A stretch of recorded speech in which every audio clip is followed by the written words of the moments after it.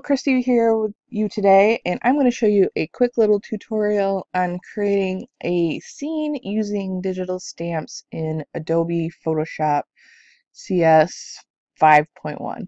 I might be using CS 5.1, but you can use Photoshop Elements just as easily for this tutorial. So to use in our scene, I've got the digital stamps Daydream Fairy and Mushroom Garden. Now I have both of them open as a PNG because we want to be able to layer them. You'll know it's PNG by the checkerboard background. That's showing you that unlike in these areas, there is no background to the image. To do this tutorial, you're going to need to have open your layers palette and your navigator. Now if these aren't open already for you, just go up to your window and then click on your layers and then your navigator and they'll pop up. Alright, to get started, we are going to create a new file. This is going to be the canvas that we build our scene on. So let's see. Let's just make it really big so we know that everything is going to fit. You can always trim it down later. Open. Boom. All right. Now, Navigator down here has a percentage of what is shown on your screen. You can zoom in by hitting the bigger mountains and out by the little mountains. This is really helpful if you're layering quite a few things on your canvas. You can zoom in and get a better look at how things are shaping up. So there's two ways to get our digis onto our new canvas. So for the first one, I'm going to show you this way. First thing you can do is go to select all and then copy and then go to our new canvas and paste. Ta-da! The second way you can do it is you can drag this off and it'll pop up and then click on your digi you'll know it's selected in the layers palette and just drag it right over you can see the little plus next to my cursor Boop. and then you can either close it or put it back up. I'm just going to put it back up here. So we have both of our images. You'll notice they're kind of different sized, but that is okay because we have a really big canvas. So now we kind of have to decide what we want to do with our images. I picked Daydream Fairy because she's got kind of, she's leaning on the mushroom and the mushroom scene I thought would be kind of cute together. So what I'm thinking of doing is um, layering her in to stand kind of right here in the mushroom scene. Now there's a couple little technical bits you're going to need to know to be able to manipulate the images in Photoshop. The first is your layers palette.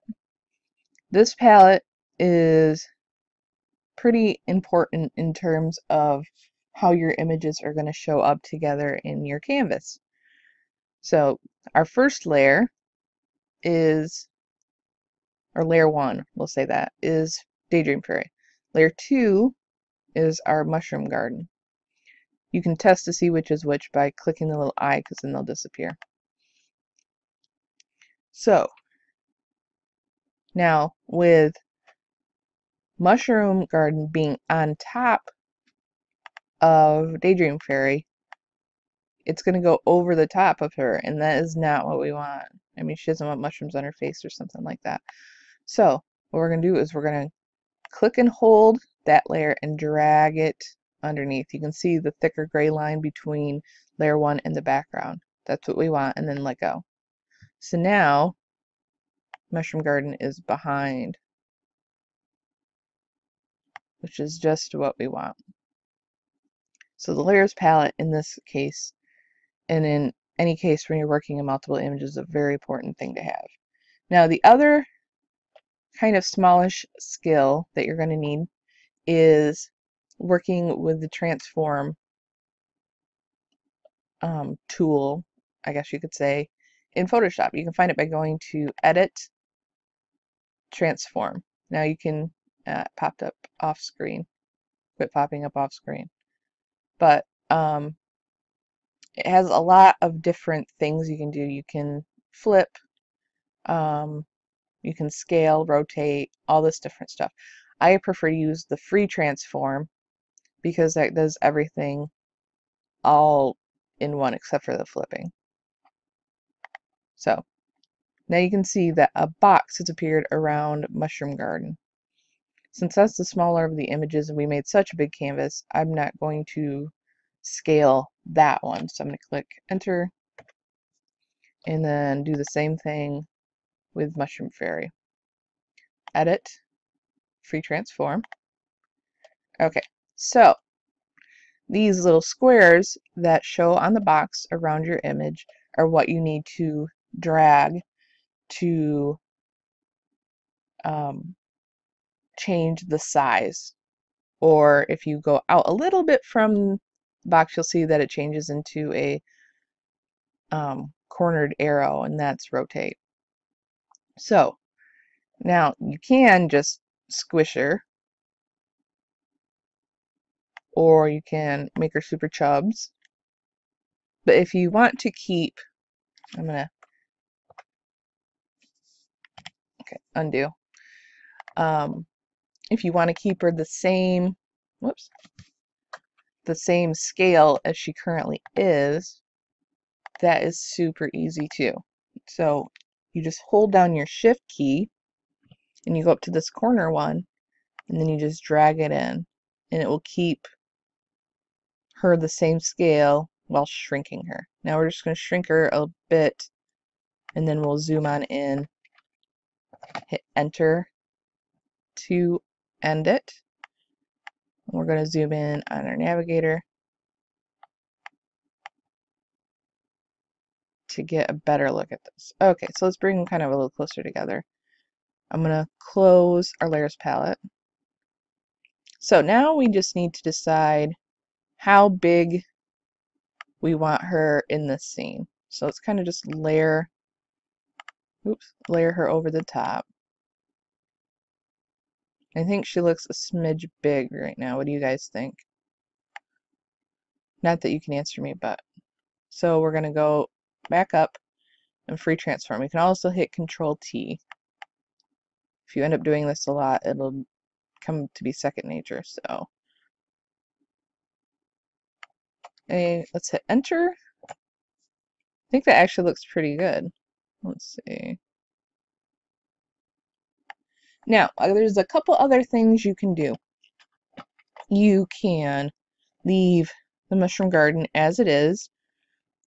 Now, because the lines are a little thicker than um, Daydream Fairy, it might look a little funny, but that's okay too. Once you color it, it probably won't even be noticeable. Another thing you can do is change the opacity or the fill, which is fill is right here too, on your layers palette. And what that'll do is obviously it'll change the opacity of the image you have selected. What that does is since it's on a white background, it'll kind of gray the image out. What that can do for you is make it to look like those mushrooms are further in the background, you know, to give the illusion of distance. So if you want to do that, you totes can. But for our purposes, I'm just going to leave it all the way up. Okay, so now, since we made such a big canvas, which was good because you saw how big Daydream Fairy was, we are going to crop it down and then save. So to crop, we're going to use our marquee tool and then just cut a square around it. You can see the little dancing dotted lines. Boop and then go to image, crop, and ta-da! We have our little scene. the next thing to do would be to save. Now you can save it as either a JPEG or a PNG. Another thing you could do is if you wanted to come back and use this again but be able to change it is to go to file save as you could save it as a Photoshop PSD what that does for you is saves all the layers as they are. Now that is not an image you can use to print but that is an a file that you can use to come back in later and edit. So I'm going to save this as a JPEG. Boop. And let's name it mushroom scene. I can't spell a day. I'm making sure I'm putting this in. Let's just put it in here and save. You can also use save for web, but to keep the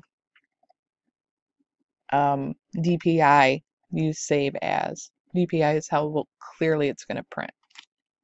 There's a little tech for you. So there you have it.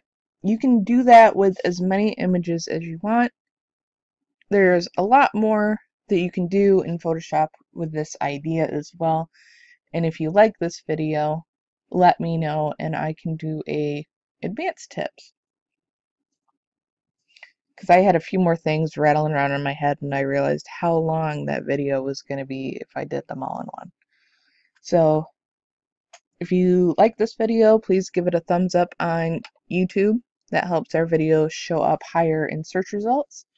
Um, leave us a comment, subscribe, share with your friends, but most importantly, put the tutorial to use and create some fun scenes. So, I will see you next time. Check out someoddgirl.com for all these images and more. Thanks so much for watching.